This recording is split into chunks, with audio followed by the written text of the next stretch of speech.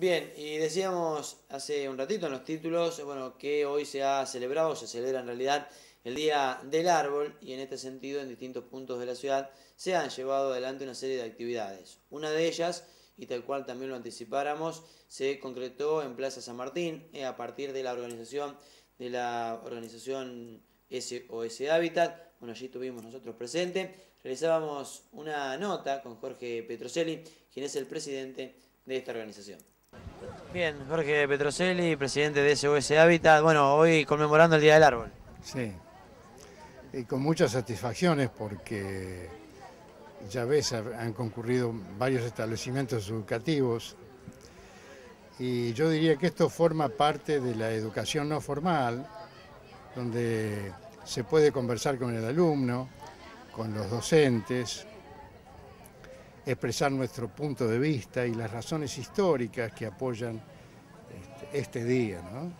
Un día que, que cada país lo tiene, no coincide, no es el mismo día para todos, pero a medida que las naciones se fueron dando cuenta de la importancia del árbol y los derechos del árbol, fueron dedicándole un día especialmente para que ese día se hicieran jornadas de reflexión, como es la que acabamos de terminar este, con los chicos. Eh, algo que le cuesta a la gente tomar conciencia sobre el tema del cuidado del arbolado, ¿verdad?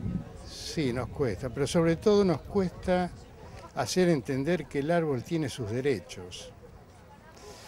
Mira, esto empezó en nuestra historia nacional hace más de 200 años con Manuel Belgrano, quien ya proponía este, reparar los desastres producidos con la extracción de los árboles pensando no solamente en reparar, sino pensando en las generaciones futuras.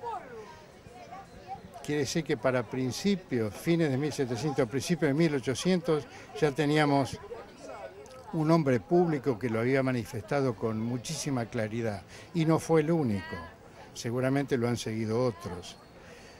Y tampoco fue exclusivo para los árboles, porque Manuel Belgrano habló sobre el ambiente en general expresándose con las palabras de ese momento, no habló de ambiente sustentable, pero lo dio a entender.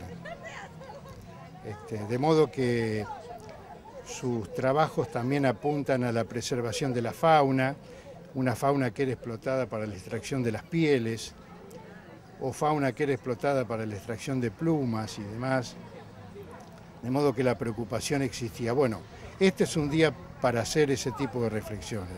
Sobre todo preguntarnos qué nos pasó. En 200 años no aprendimos nada.